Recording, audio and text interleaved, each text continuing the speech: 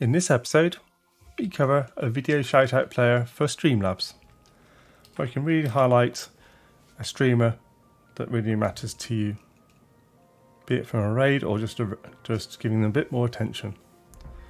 Giving a regular shoutout with custom shoutout support, and also showing a video from a random clip pulled from their channel. Hello, and welcome to StreamerBot Bytes, where I cover how to set up and to make the most of the awesome Streamer bot. There is one video per topic to make it easy as possible to follow and find. When relevant, sample import code will be provided to make it even easier to get started and to add functionality to your stream. Let's get started with the topic for this video. Before we start, please make sure you are running StreamerBot 0.1.4 or later. There are some functionalities in here that um, will cause instability in older versions of StreamerBots, so I do not recommend you use an older version. This video is going to be released shortly after StreamerBot 0.1.4 goes live, so uh, it is going to be available in the usual spot under streamer.bot. The first thing we need to set up for the video shoutout is to have a browser source. Now I'd suggest to have this as a separate scene first, along with any other alerts you may have. So I'm going to have a scene called alerts. This is generally a best practice way, so you can then have an alert scene in every one of your other scenes. So um, there's a concept of nesting. So I'm going to add a source in here to the browser source. I'm going to call that shoutout.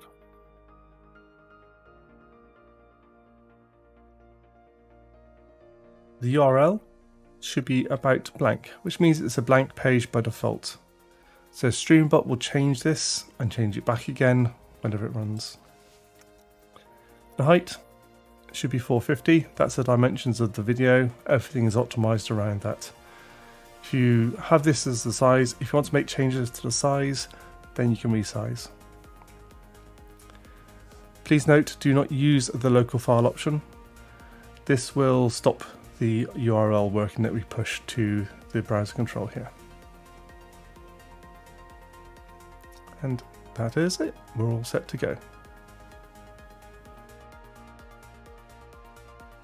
So once the broadcaster software is set up, we need to import the action into StreamerBot. So the action is going to be in the video description below.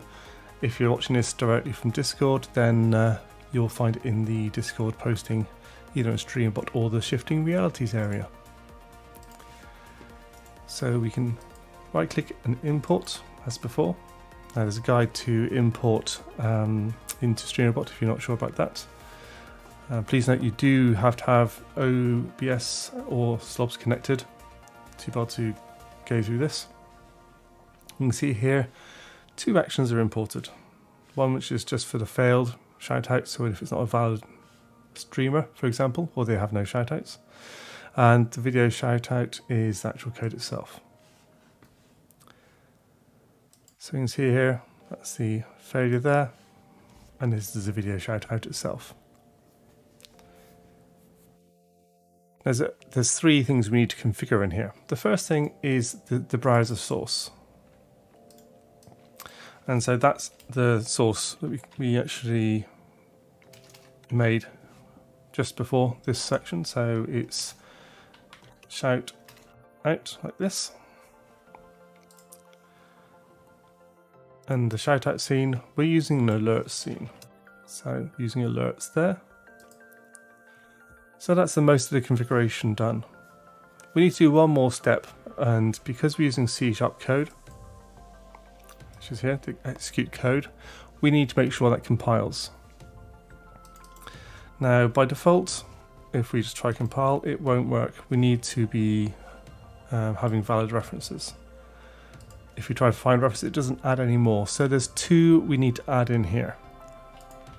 So if you right click and add reference and file, it's worthwhile noting this is a location it brings up I believe by default. If not, you can go to see Windows, Microsoft.NET Framework, etc. Whatever's down here, go to that same location. If you type in system.dll, that's going to be the first one we want to add. And another one, system.core, C-O-R-E, .dll. Those are the two that are needed in there. Now if we click and compile, wait a moment, we can see here it's compiled successfully. So with those steps, we've configured the video shoutout for the bot. Of course, now we need to add a command to trigger the action. So we add it in there, use exclamation SO if you want just to use that as an override for your shoutouts, or VSO maybe, that's what I'm going to use here. And in the action, we're going to select video shoutout, and the permissions, I'm going to use moderators.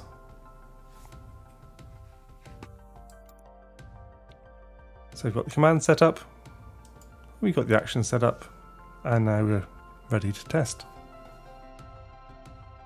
So now we're ready to test this in Streamlabs. Now we're in the alert scene, so it's going to show up in here. Simply use command VSO and the streamer name itself. So VRFlad in this case. So you can see here, it's done a regular shoutout. It's then doing a uh, another clip here, which is me of a clip. clipception occurs. When this clip is finished, it will go through and automatically shut things down for us. There we go, all black, all ready to go on.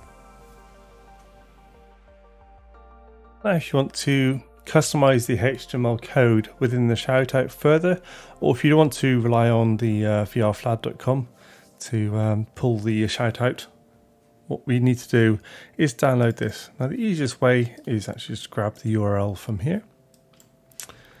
We'll put it in a browser. And then we can save it as. And save it into my stream stuff folder I have there. And when that's in there, we just run that. Grab this address that's now in there, so it's in my C drive. Go to StreamerBot and paste that in. So we can see that's now configured. It doesn't need to go to a different site to get the player. You can customize it further if you want to. And finally, just to walk you through what uh, I've used to build up this. Um, some of the code has been uh, actually already provided by Nate uh, in the release notes when we actually had the code to get clips. But uh, this one here is just a very simple send message to channel, just to say they're not a streamer or doesn't exist, nice and simple. The video shoutout, we have two globals. Now these are persisted values here. So these are the the source and the browser, uh, browser source and the scene that we're using the file there, which you can customize if you want to. So they're setting globals, which the code then picks up later on. Now we're doing things that are actually exactly the same as a custom shoutout. So we get the target information from the inputs, so the user that we're doing from, so gets the Twitch, Twitch information. If that user isn't there, or if they don't actually have a game, then they're not a streamer and we should break.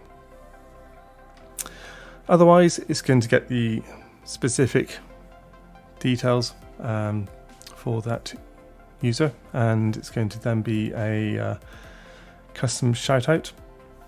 So if you have custom shoutout for them we'll grab that. Then we'll do the shoutout message include that custom shoutout. So it puts the custom shoutout code first here picks out the user that we've put in place puts their twitch address in there and the game they were last playing Finally, the heavy stuff. So this is the uh, C Sharp code. We can see here we're pulling in from the variable get global variable, the shoutout scene, and shoutout browser source. So within the code here, we can refer to them as scene and source. A video player file, which is going to pull the shoutout file. So that's by default vrflad.com slash shoutout.html, but it'll be, if you change it in the actions sub actions above, it pulls it into the script.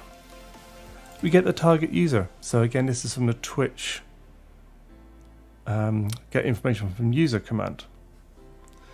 We then use the get clips for user built-in function for that username. If it doesn't have any, then we stop processing. We say we don't have any clips to the channel on a sad face, and we return false. Return false will stop the processing of C sharp further.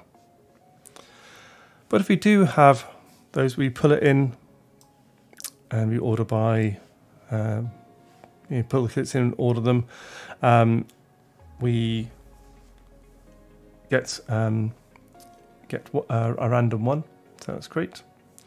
Um, we set arguments in case you want to use them later. We don't actually need these strictly, but they're there just in case you want to refer to these uh, within the actions later on. So if you want to use them somehow by um, by extending the actions, I've left them in there for you. But this is a standard code which Nate's provided. Now there's a embed URL. This part isn't actually needed. Um, the way we actually build up the uh, video file is actually based on the um, thumbnail image, which is related to the video file. Otherwise, we need to use a, a different URL, but we've left it in here um, so we can actually so we can actually um, rely on that should APIs change. And I can then push a new version of the, the player to vrflad.com and people can re-download it. Um, these won't be in the live code, so don't worry about that. The next uh, action will be slightly different for OBS and Slobs, but I'm not going to record this twice. Um, but that's setting the browser source of the scene, the source, and the video player file, which is being built up there. So that kicks off the video shoutout. We've got the delay um, for the, the, the duration of the video clip. We add another two seconds to give it time to actually load the page. Um, fortunately, the page will go to a blank state at the end, so it, it means that you're not going to cut things off um, with a two second delay, but also you're not going to leave a hung image on there. So it more it keeps the queue hung up for another couple of seconds, worst case. But typically with latencies, it's going to look quite good. We're going to put a wait for that amount of time before we revert the scene and source back to about blank here. And that's the code finished.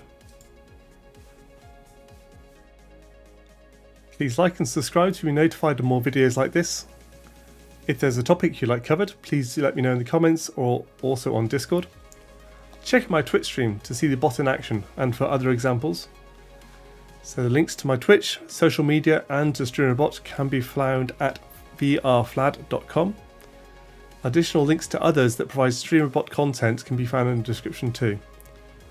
Finally, thank you so much to Nate for making a great bot. Please do consider supporting his Patreon, which is linked from streamer.bot.